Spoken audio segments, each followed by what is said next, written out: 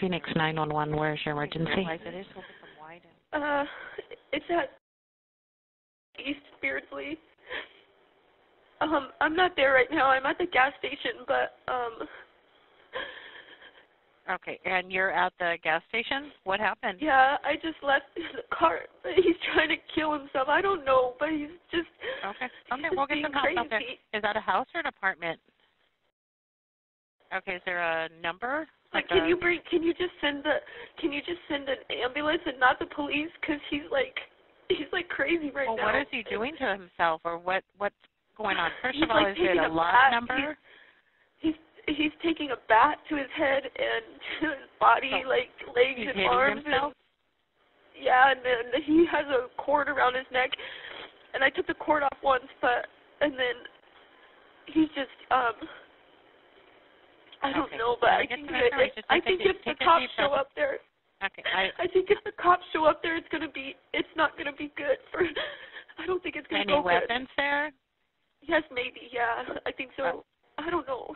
Uh, Yes. What do you? Okay, does he have a gun there? Just if he does, say yes, so that we know. Yeah, yeah, he does. Okay, does he But, have the gun um, out?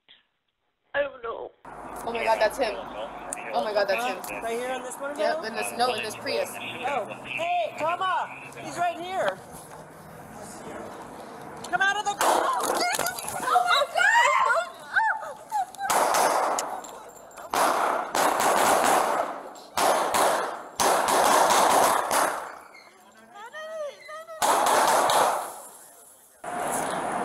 This whole thing started last night, past midnight. Um, Claiming that she might have cheated on him. And uh, he did fire around inside the home. Um, and they were hoping PD would respond yesterday, but apparently they get a call. And today, he did try to put a phone cord around his neck, trying to kill himself. And he also mentioned that he is uh, willing to go in the shootout with PD if they do respond Yes. Who is here?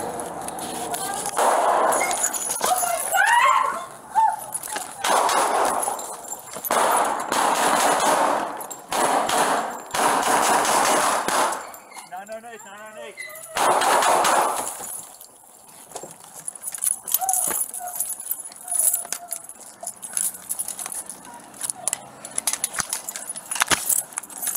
No, no, no, I'll sit down, I'll sit down.